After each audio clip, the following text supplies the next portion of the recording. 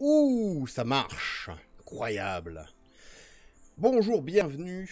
Il est... Quelle heure est-il? 8h45, on est en retard, mais on commence la revue de presse. Comme d'habitude, on commence chez Tela Botanica. Un peu moins fort. Voilà. Je me demande souvent... Oui ah ben, En tant qu'horloger, j'espérais que tu aurais au moins quelques réponses là-dessus.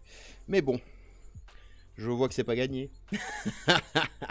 Mais le temps est relatif. Le temps est relatif.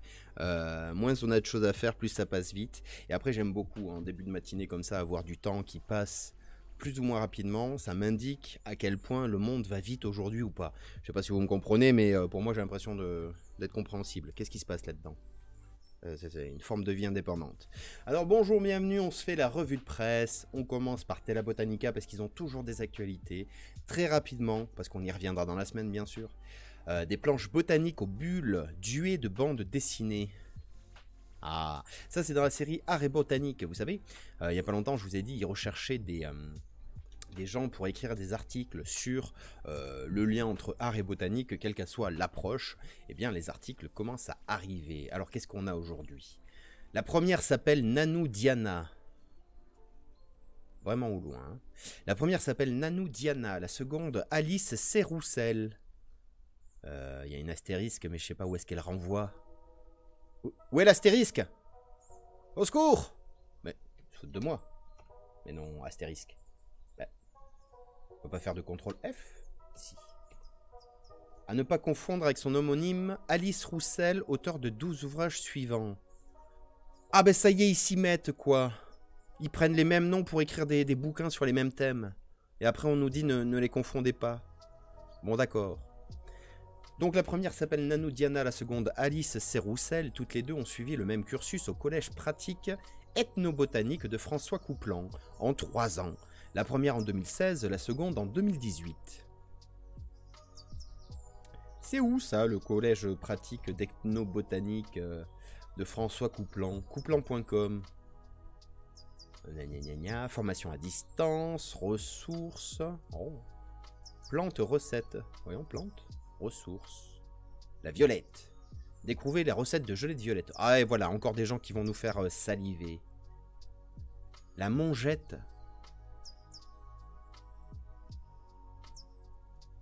La mongette. Ah bon. Légopode. Sinorodon. Ah oui, oui, avec des photos libres de droit, bien sûr. C'est des Suisses. C'est des Suisses. Ils sont partout, c'est des Suisses. Ah non, c'est des Suisses français. Ils sont des deux côtés. Ça y est, c'est un complot international. Bon bref.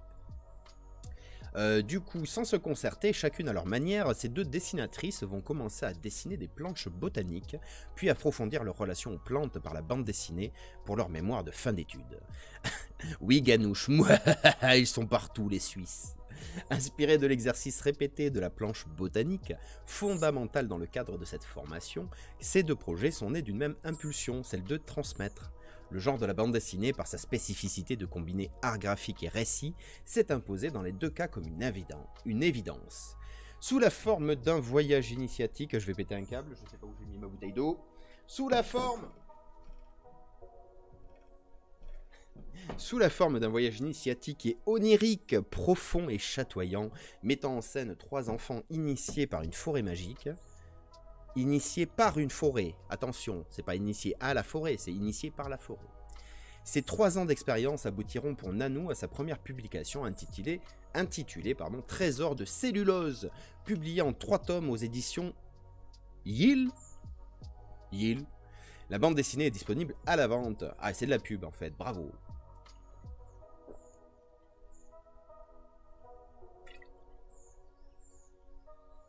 Trésor de cellulose. Et oui, parce que le lien n'est pas direct.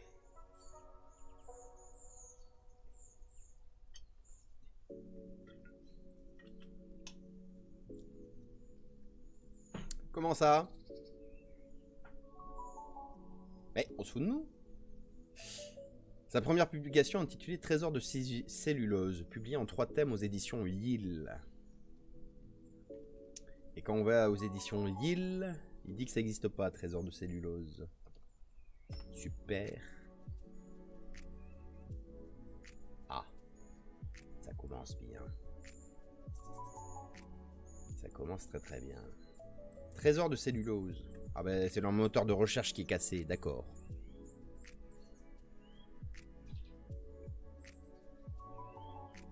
Ouais,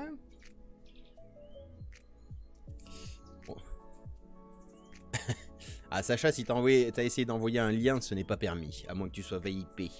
Euh, qu'est-ce que je fais? Je te, fais VIP Ou tu me l'envoies en chuchotement, dans un premier temps? S'il te plaît Merci. Euh, oh, regardez là-bas, une lueur se détache de la brume. Tout à fait. Allons voir. Qui suis-je? Un arbre? Oui. Ouais, ouais, ouais. ouais. c'est pas super évident. Non, c'est bon, t'as trouvé. Ah oui, oui, oui, j'ai trouvé, j'ai trouvé. Euh, je, suis lent à chercher, mais je trouve. Donc ça coûte 18 euros. Euh, dans ce second volume... Ah oui, mince. C'est le second. Bon, nos trois amis poursuivent leur quête et continuent de se rapprocher du trésor. En chemin, ils seront transportés au cœur de la vie du sol et pourront comprendre ce qui fait d'une terre un substrat vivant et fertile. Et puisque nous parlons fertilité, ils plongeront aussi dans la sexualité des plantes, de la fleur à la graine, scandaleux. Le trésor est-il encore loin? Ah bon? Bon, ben du coup, euh, vous savez. Pour Alice, donc la seconde euh, illustratrice dont on parle dans l'article, son expérience se construit au fil des gaffes, recettes et dégustations en plein air, de saison en saison et au gré des rencontres, sous une forme autobiographique combinant humour et pédagogie avec la relecture de François. Je sais pas qui c'est. La chronique est accessible en ligne sous le nom de À l'ombre du pissenlit. Publié à un rythme hebdomadaire de novembre 2020 à avril 2022. Non, c'est où? Ah, le pinceau pissenlit. A un jeu de mots, je l'ai pas. Pinsopi Non. À l'ombre du pissenlit, Under the Dandelion en anglais. Hein. Euh, si vous je, suis bilingue. cliquez, cliquez sur les miniatures en bas de page pour voir mes portfolios. Click on the thumbnails at the bottom of the page. Yes, yes, of course. Oui, je suis illustratrice, blablabla. Bla, bla, bla, raconter, transmettre, blablabla, dessin personnalisé, médiation scientifique et illustration pour enfants, regard décalé sur le quotidien. Il est où le décalé? Je veux le décaler. Mais quoi? Hein?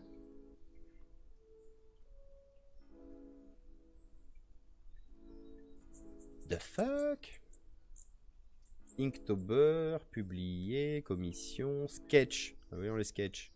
je vous préviens, si ça me fait pas rire, on s'en va. Trouver les sketchs ici. D'accord, je vais sur Facebook alors. Oh là, au secours, ça commence à devenir dingue. Pourquoi au secours? Mais qu'est-ce que... Au secours? Ah, j'ai tout fermé. Dans la panique, j'ai tout fermé. Pourquoi on tombe pas sur son site quand on clique là-dessus? Botanique, botanique, Under the Dent de Lion à l'ombre du pissenlit. Je comprends pas ce que je regarde. Ah, le bon geste Pour tirer le pissenlit.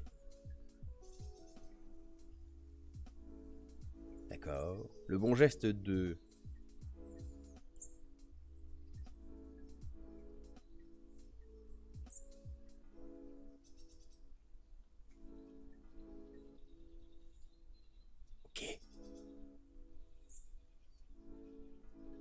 Alors je dis rien parce que je lis.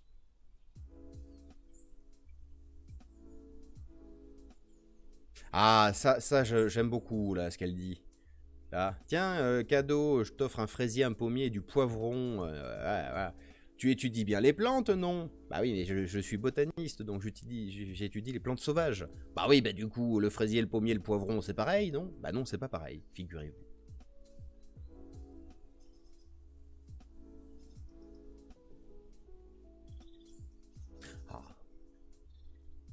Glander pour de vrai, oui.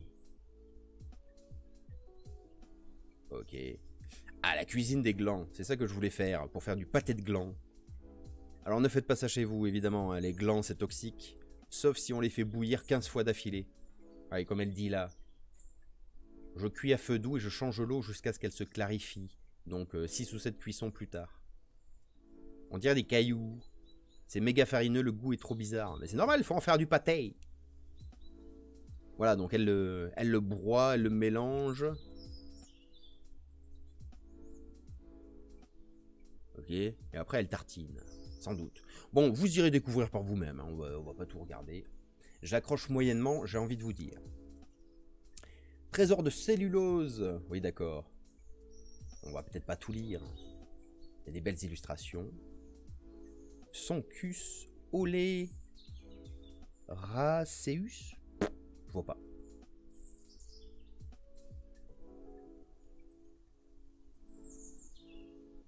Bon, admettons, c'est un style, c'est un style.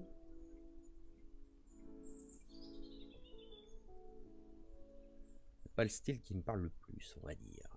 Allez, ciao Hop là C'est le moment de planter des messicoles. Qu'est-ce que c'est? Ouais, vu sur la toile, on va aller juste se mettre l'eau à la bouche. Voyez-vous 8h55, ça passe à une vitesse. Ah, PlanteNet, eBird, Speeple, e-naturaliste, ces applications au service de l'e-écologie, n'est-ce pas? Sinon, on aura des articles sur quoi? L'obione faux pour pied, alias l'herbe au crabe.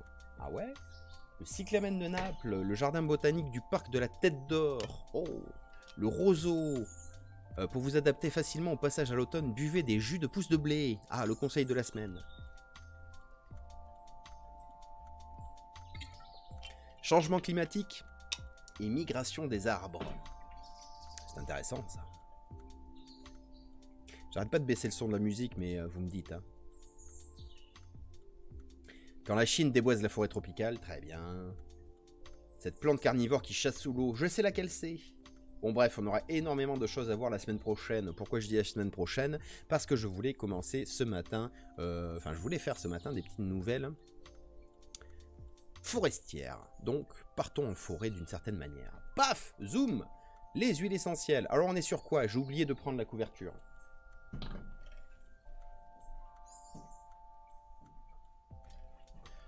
J'ai oublié de scanner la couverture, c'est scandaleux.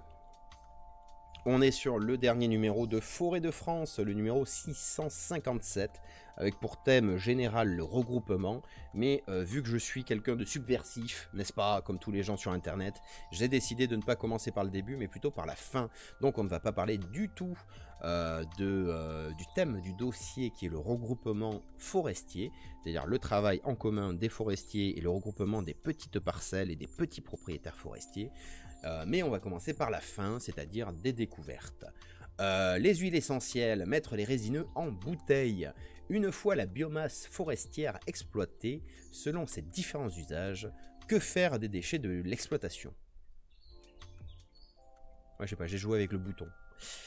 Euh, donc en gros, une fois qu'on a coupé, exploité en tout cas une forêt, une fois qu'on a coupé du bois, il reste en fait ce que on appelle des déchets d'exploitation forestière. Euh, terme extrêmement impropre. Ce ne sont pas des déchets, c'est de la matière végétale qui est au sol, donc des branches principalement, quelques morceaux de tronc, des souches, euh, voilà, c'est l'essentiel. La fabrication d'huile essentielle à partir de résineux fait partie des nouveaux débouchés.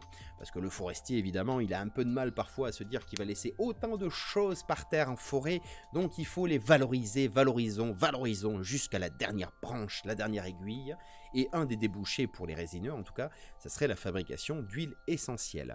Et en forêt, bien, euh, plus ça va et plus, euh, on va dire, les débouchés inhabituels, en tout cas les débouchés qui ne sont pas euh, liés directement au bois.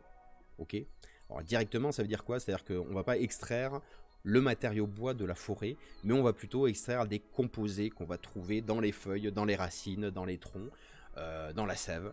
Donc il y a de plus en plus en fait de valorisation de produits qui ne sont pas directement du bois depuis les milieux forestiers. Donc plus de 800 000 espèces végétales coexistent sur Terre. Parmi ces plantes, seulement 10% sont aromatiques et en capacité... Dis donc... Mais... donc seulement 10% sont aromatiques et en capacité de produire des huiles essentielles. Les plantes aromatiques sont classifiées en 12 familles principales. Ils sont sympas les oiseaux, mais ils sont un peu en forme ce matin. L'une d'entre elles, la famille des Abietacées, regroupe les conifères comme le pin, le sapin ou le cèdre. Alors, les abiétacées, qu'est-ce que c'est? Abiétacées, qu'est-ce que c'est? Paf Ah bon? Pinacées ou abiétacées, c'est la même chose? On met au secours alors. Barrez-vous les jets des chaînes. Qu'est-ce qui se passe ce matin? Mais alors dans Abies alba, il n'y a plus euh, les abiétacées Dans la classification. Abietoidae, famille des pinacées. Ah bah nous voilà bien avancé maintenant. Dites-moi que celui qui a rédigé l'article n'utilise pas une vieille euh, appellation. Bref. En tout cas, euh, la famille des Abietacées, si c'est bien euh, la même chose que la famille des Pinacées, hein, c'est une grande famille. C'est d'ailleurs, c'est une famille, non, c'est au-dessus. C'est la famille, d'accord, Pinal, etc. donc, qui regroupe beaucoup de résineux. dans cette famille, les espèces indigènes en France, on trouve les abies, donc les sapins, les Picea, donc les épicéas en français, le le mélèze, euh, Pinus, les pins. C'est tout? 11 genres, très bien. Donc en gros, les conifères euh, qu'on a l'habitude de voir dans notre paysage. Paf, revenons là-dessus. Donc les essences de ces conifères se, euh, se trouvent principalement dans les aiguilles et la résine, mais également dans les bourgeons et les cônes.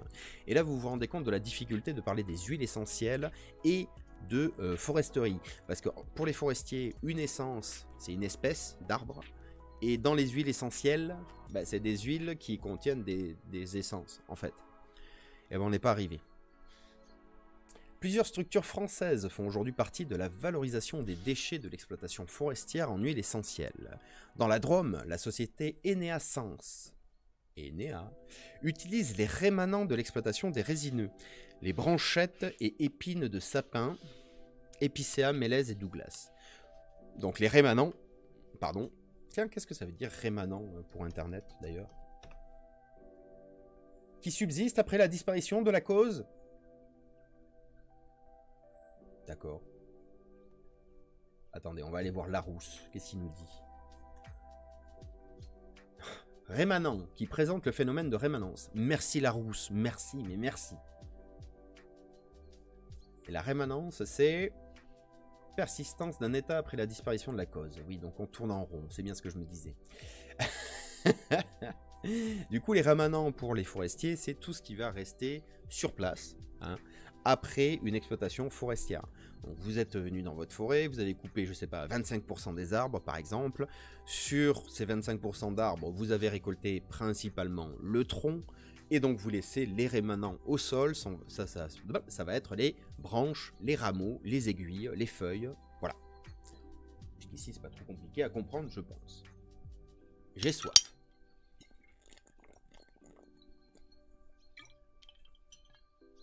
Donc ces fameux rémanents de l'exploitation des résineux, que ce soit chez le sapin, l'épicéa, le mélèze, le douglas, sont transformés en copeaux directement sur place avant d'être envoyés dans une distillerie voisine. Et eh oui, les huiles essentielles, ça passe par la distillation. Les déchets de la distillerie sont ensuite utilisés et brûlés par la centrale biomasse de Grenoble, dans le Jura. Aroma Comtois propose des huiles essentielles de sapin. L'entreprise travaille en partenariat avec l'ONF pour la récolte des branches de sapin blanc, ayant beaucoup d'aiguilles. Comme pour Sens, la fabrication se fait par distillation. Plusieurs méthodes euh, existent pour fabriquer des huiles essentielles. La plus ancienne, la distillation à la vapeur d'eau, permet d'obtenir une huile essentielle de haute qualité. Elle fonctionne grâce à un alambic chauffé. La matière végétale à distiller est mélangée dans le corps de l'alambic avec de l'eau. Le mélange est chauffé pour produire de la vapeur contenant l'essence. Cette vapeur est récupérée puis refroidie pour obtenir de l'huile essentielle. D'autres méthodes existent comme l'extraction par CO2 supercritique,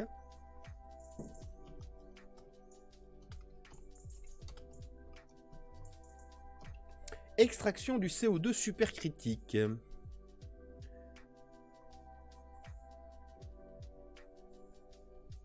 Oh, je vais rester sur la phrase qui dit euh, ce procédé ressemble au procédé d'extraction par un liquide. Ah bah si c'est pareil, alors c'est que ça va. Bon, euh, si vous êtes curieux, vous irez chercher. Moi-même, je ne comprends pas le concept. D'autres méthodes donc existent, comme l'extraction par CO2 supercritique, qui permet de faire éclater les sacs d'arômes. Euh, ah bah tiens. Vous voyez le lien là? C'est la compagnie d'essence, n'est-ce pas? La compagnie d'essence, je les aime beaucoup. Mais c'est eux qui ont écrit l'article s'il faut.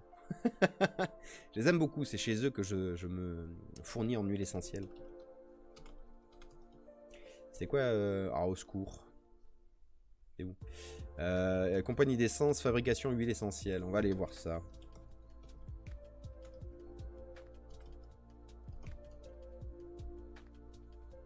Paf Ah oui, il y a toute l'explication. Mécanisme de la distillation par l'entraînement à la vapeur d'eau.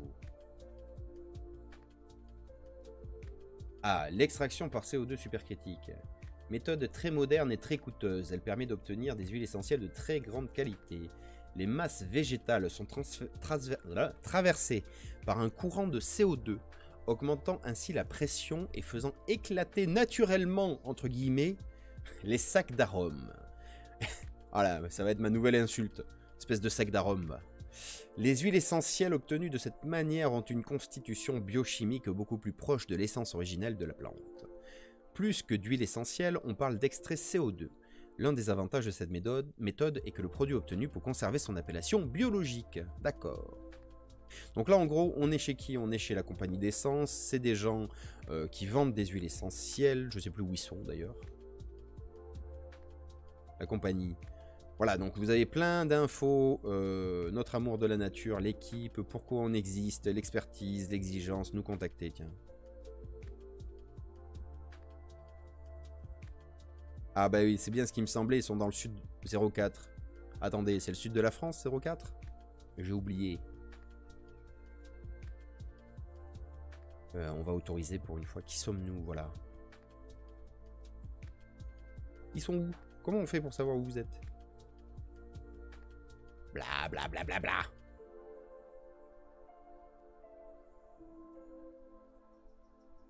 Attends, 05, 02, 01, 03, 04. Ouais, c'est le sud-est de la France, il me semble, 04 au téléphone. Bon bref, on s'en fiche. Euh, compagnie d'essence, donc ils vendent des huiles essentielles et entre autres qui font beaucoup de communication sur euh, comment ça s'utilise, bien sûr, mais surtout comment ça se fabrique et comment ils travaillent chez eux. Donc vous pouvez vous inscrire à leur lettre d'information, n'est-ce pas? Et vous pouvez aller voir sur leur euh, page aussi, hein, là il y a toute l'explication de la distillation. Donc à la vapeur, l'hydrodistillation, l'eau florale, etc., etc. Les cousines des huiles essentielles, ah bah c'est les cousines s'y mettent les références bibliographiques. Bon, je fais de la pub, je sais pas pourquoi. Allez hop, ça dégage. Euh, on était où? Oui euh, Du coup, sur l'article L'huile essentielle, bien sûr. Après l'extraction de l'huile essentielle, il faut s'intéresser à sa spécificité biochimique. Pour comprendre ses propriétés, les huiles essentielles de la famille des abiatacées contiennent des monoterpènes et l'un de leurs dérivés, les esters monoterpènes. Ah pardon, ester monoterpénique. Ces composés très courants dans les huiles essentielles sont antiseptiques. Ils sont aussi anti-inflammatoires, antalgiques et toniques. Bon alors, antiseptiques, bon ben si t'as des doutes, tu prends ça, t'en as plus. Ah, ce que c'est drôle euh, Anti-inflammatoire, c'est contre les inflammations. Antalgique, c'est contre les douleurs. Et tonique, eh ben, ça met du peps. Les huiles essentielles de pin et de sapin possèdent de nombreuses propriétés. En inhalation ou en application locale, on peut les utiliser pour décongestionner les voies respiratoires. Alors c'est sûr qu'un petit coup d'huile essentielle de, de, pain ou de sapin, tu, mets juste une micro-goutte, tu fais ça sous le nez et ensuite tu respires. Oh, ça te. Tu, sens la montagne au fin fond de tes poumons, quoi. Hein. Elles permettent également de soulager les douleurs articulaires et musculaires et les rhumatismes inflammatoires en application locale. En diffusion, elles peuvent être utilisées pour assainir l'air intérieur. Attention toutefois à bien respecter les précautions d'utilisation. L'huile essentielle de pin sylvestre et de sapin blanc est par exemple irritante à l'état pur. Il faut donc la diluer avant toute utilisation cutanée. Les personnes asthmatiques et épileptiques doivent également être très vigilantes avec ces huiles.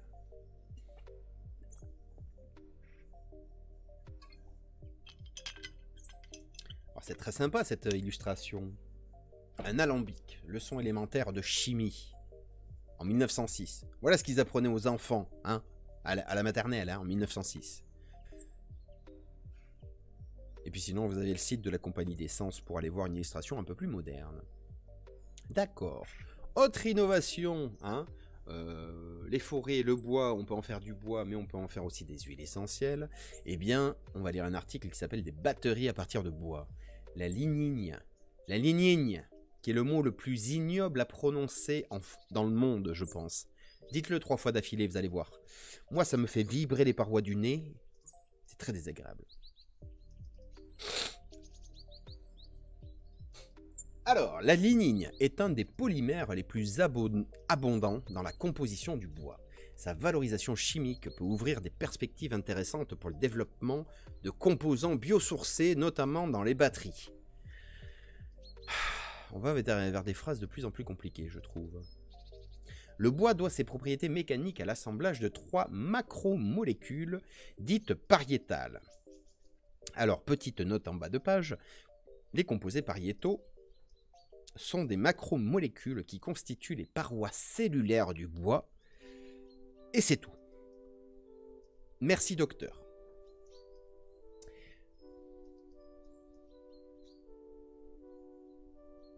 D'accord. Donc euh, les trois euh, les propriétés mécaniques du bois sont dues à l'assemblage de trois grosses molécules, on va dire, qui sont dites pariétales parce qu'elles constituent les parois cellulaires du bois, donc elles tiennent euh, les, cellules entre elles, on va dire, la cellulose, les hémicelluloses et les lignines. Grâce à différents traitements, les industriels parviennent désormais à décomposer le bois pour accéder à ces composants qui trouvent des applications dans plusieurs domaines. La pauvreté de cette phrase est... Euh, les industriels parviennent désormais, hop ça dégage, donc les industriels parviennent à décomposer le bois pour accéder à ses composants. Je valide l'antiseptique, c'est clairement mon humour. mais non, mais... Euh, allez, on est sur un stream euh, culture confiture. J'ai jamais l'écrire antiseptique. Antiseptique, produit utilisé pour lutter contre les infections de la peau et des muqueuses. Voilà. C'est moins rigolo, dit comme ça. On est où? Là. Euh, du coup, grâce à différents traitements, les industriels décomposent le bois pour accéder à ces différents... Allez, on va, jouer à quelque chose. Euh, synonyme, composant. Éléments, élémentaires, composés, composants, composition, coordonnées, synonymo, qu'est-ce qu'il dit? Substance. Substance Eh ben voilà, ça m'a pris 30 secondes Grâce à différents traitements, les industriels parviennent à décomposer le bois pour accéder à ces substances, qui trouvent des applications dans plusieurs domaines. La cellulose est surtout utilisée pour la production du papier et du carton. Plusieurs procédés, le craft et le procédé au bisulfite, d'accord, existent pour préparer la pâte à papier. Ils ont pour objectif de séparer les fibres de cellulose de la lignine et des hémicelluloses. Dans l'industrie papetière, la lignine était jusqu'à maintenant brûlée pour produire de l'énergie. Aujourd'hui, elle suscite l'intérêt du monde industriel et de la recherche car elle pourrait remplacer certaines molécules issues de ressources fossiles dans la composition de matériaux et produits industriels. Alors j'aime beaucoup le aujourd'hui elle suscite l'intérêt du monde industriel. Euh, l'utilisation de la lignine, chimiquement parlant, c'est milieu 18e euh, me semble-t-il. Non, milieu 19e. 1800 et des patates, oui, milieu 19e. Donc, comment dire, les procédés qui consistent à redécouvrir des choses qu'on savait faire il y a 150 ans. Bref. La lignine, un composant prometteur.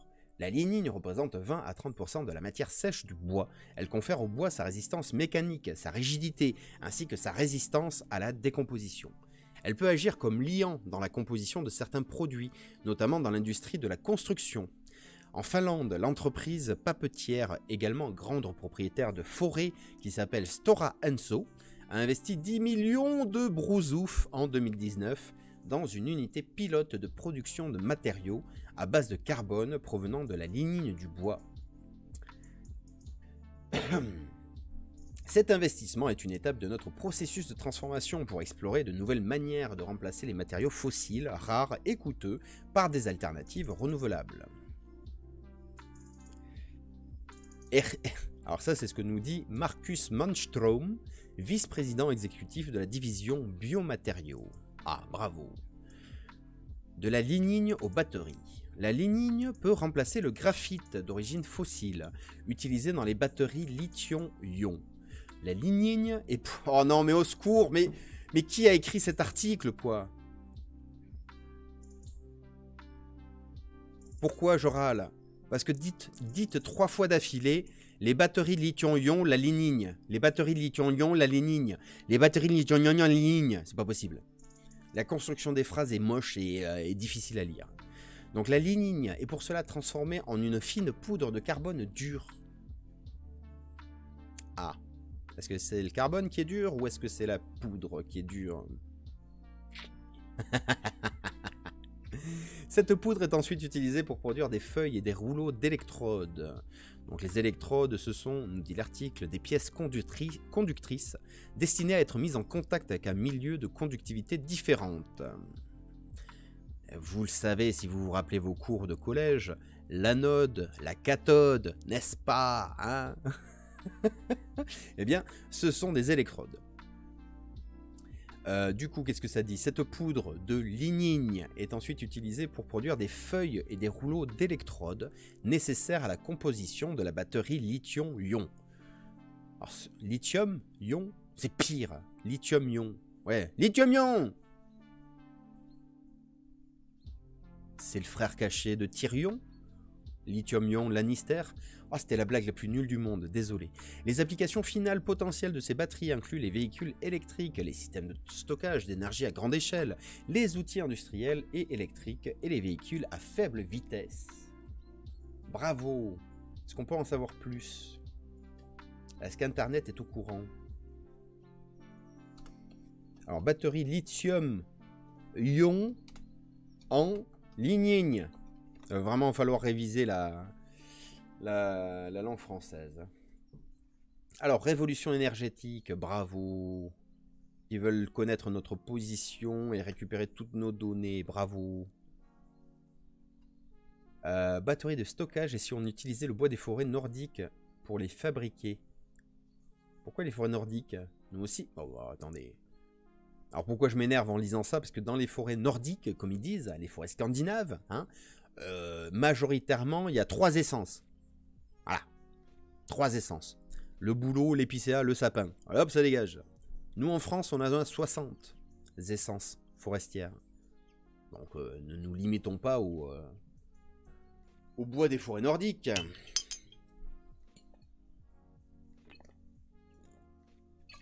Ah, mais c'est tout récent en plus. 29 juillet 2022. Bravo. Fabrication, blablabla, c'est exactement la même chose que ce qu'on a vu.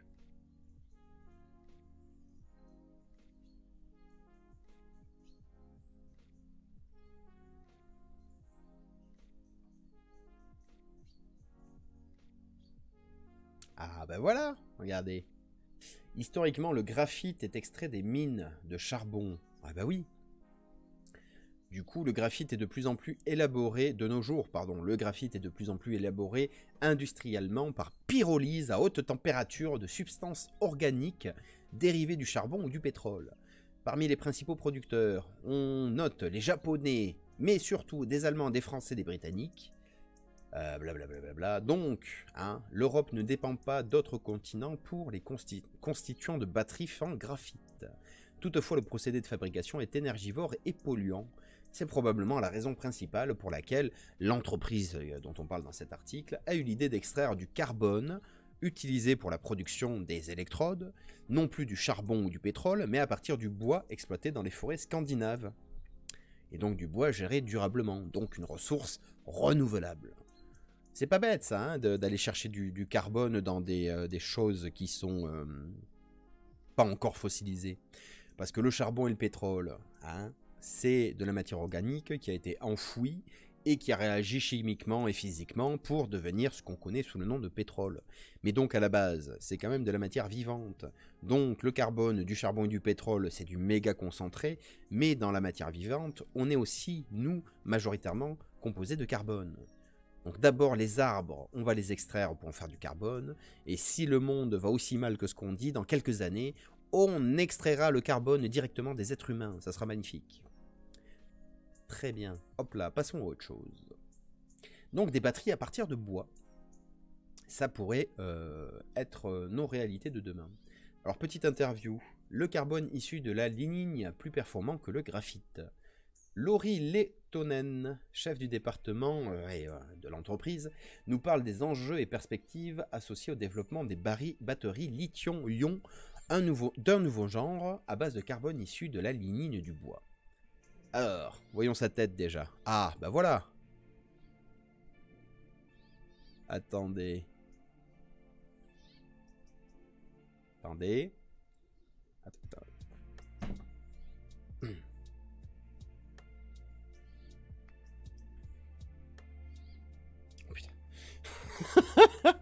C'est pas tout à fait ça, mais.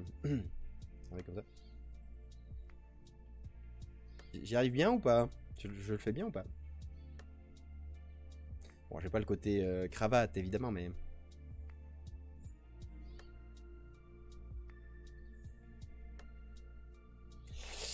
J'aurais pu être. euh, J'aurais pu être. Il est quoi?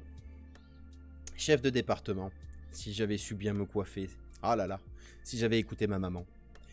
Donc, il est nécessaire de révolutionner euh, la technologie des batteries afin de couvrir durablement les besoins en stockage d'énergie au cours des dix prochaines années. Le marché des batteries devrait décupler du fait des besoins grandissants en stockage d'énergie, c'est vrai. Ce marché en pleine expansion a besoin de matériaux de haute qualité.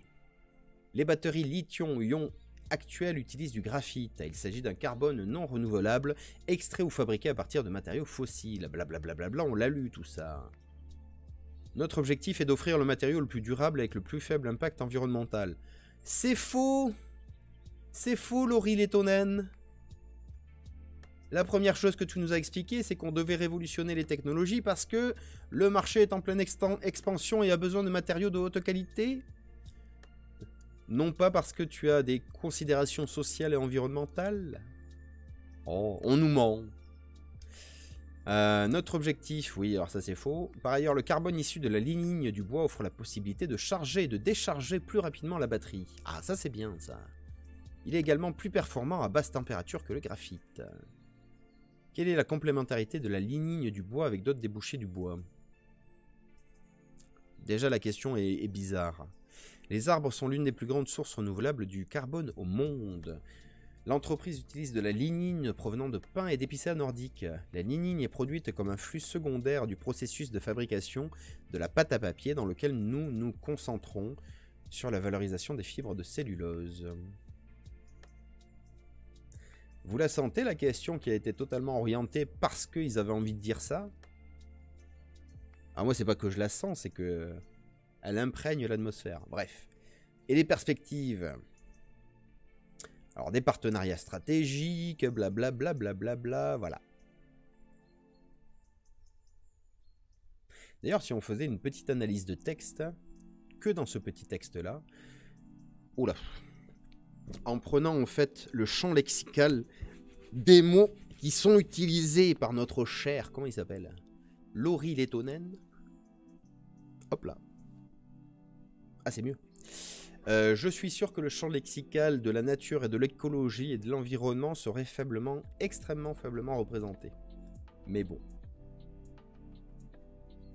Ah, l'image qui nous fait de la poudre de graphite avec des lamelles de je sais pas quoi pour en faire des batteries. D'accord, j'adore. Allez, on continue. Quelle heure est-il? 9h23. Qu'est-ce qu'on se fait? Une dernière petite news? Podcast? Ah bah oui, deux dernières petites news. Allez, comme ça on reste dans le thème.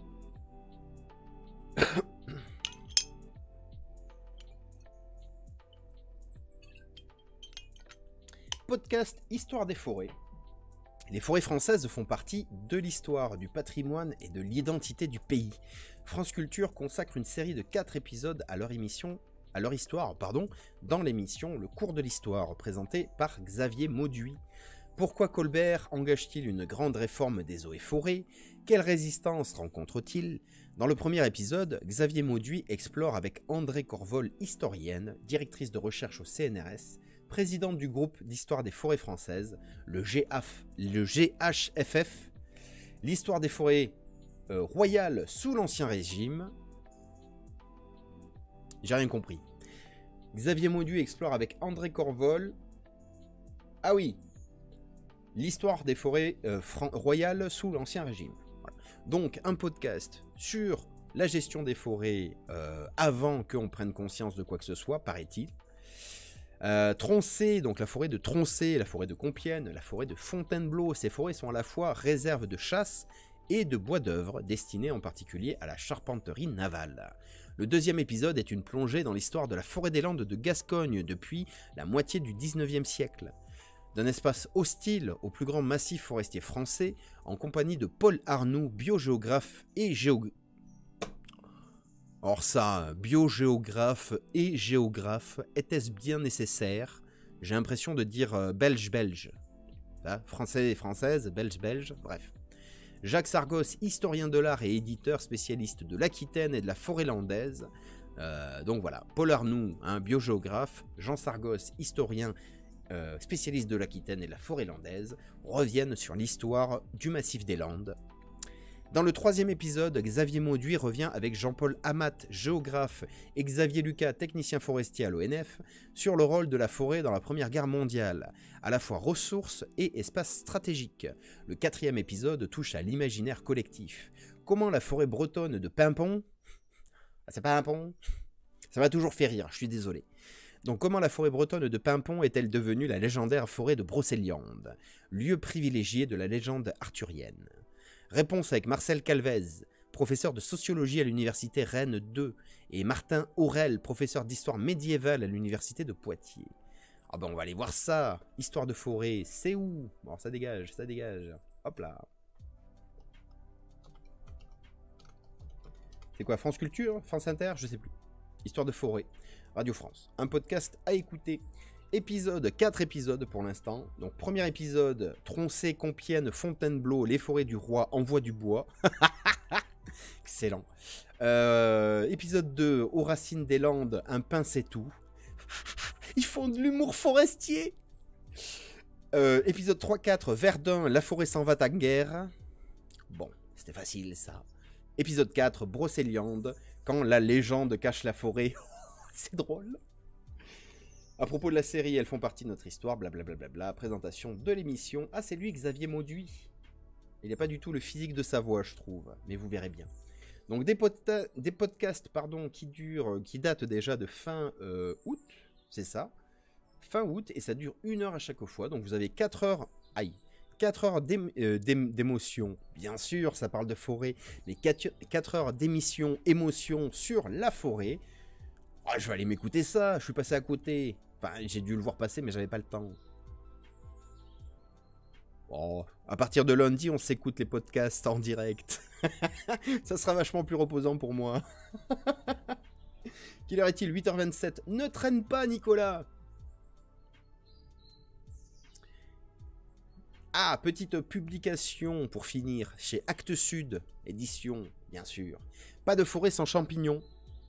Oh là la couverture est austère, c'est le moins qu'on puisse dire. Longtemps ignoré, les relations invisibles entre arbres et champignons sont pourtant vitales. Si certains champignons s'avèrent être des parasites ou des pathogènes, beaucoup vivent en symbiose avec les arbres. Dans son ouvrage intitulé Pas de forêt sans champignons, euh, paru le 14 septembre, Hubert Voiry, ingénieur forestier et mycologue, incroyable. Mycologue, c'est les, gens qui étudient les champignons. Je bois de l'eau sans bubule et pourtant j'ai une bubule qui passe pas. Donc dans son ouvrage intitulé Pas de forêt sans champignons paru le 14 septembre, Hubert Voiry, ingénieur forestier et mycologue, dévoile les relations symbiotiques euh, inédites entre forêt et champignons grâce aux mycorhizes. Les champignons fournissent aux arbres des nutriments essentiels et se connectent entre eux, ce qui permet un échange d'informations. Quant aux arbres, ils se nourrissent, euh, ils nourrissent les champignons en sucre. L'ouvrage d'Hubert Voiry nous révèle également d'autres rôles insoupçonnés des champignons, dans l'élagage naturel des branches basses des arbres, la décomposition des arbres morts, ou encore la résilience des arbres et des écosystèmes. Euh, ouvrez les pages, découvrez-y les champignons comme vous les avez toujours vus sans les voir, et dont pourtant vous n'imaginez pas encore euh, la beauté. Ah oui, c'est un commentaire de Marc-André Sellos, auteur de la préface du livre. Alors pourquoi Marc-André Sellos, préfaceur du livre, est cité euh, dans la présentation du livre? Parce que c'est un grand spécialiste des sols et donc forcément des champignons puisque sol égale champi, champi égale sol. Euh, pas seulement à travers le chapeau, on l'a vu, hein, mais le champignon, c'est le mycélium, cette espèce de tissu blanc qui est présent dans les 20 premiers centimètres du sol. Est-ce qu'on peut aller voir ça un petit peu? Pas de forêt sans champignons, acte sud.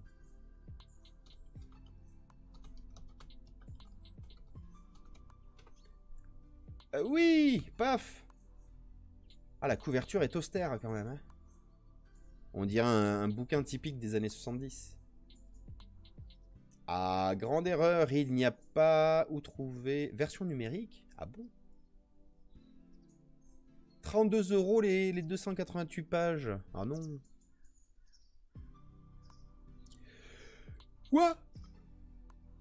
Au secours. Où trouver ce livre? Bah, je croyais être chez Actes Sud.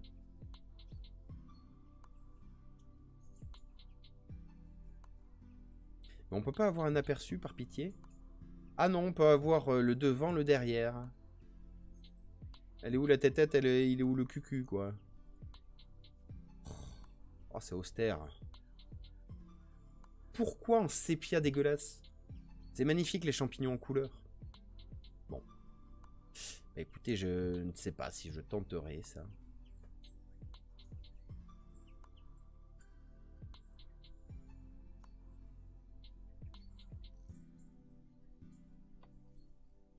Bon, arrêtons-nous là pour ce matin. Quelle heure est-il? 9h30. Je vais faire une pause de 10 minutes. Je vais aller chercher euh, les champis, installer le bazar. Alors qu'est-ce qu'on se fait aujourd'hui? On va regarder des champignons, ça profite. On va faire un petit euh, retour sur investissement, un rembobinage par rapport à mercredi. Et euh, paf, on se met en pause. Oh. Peut pas avoir le, le ciel plutôt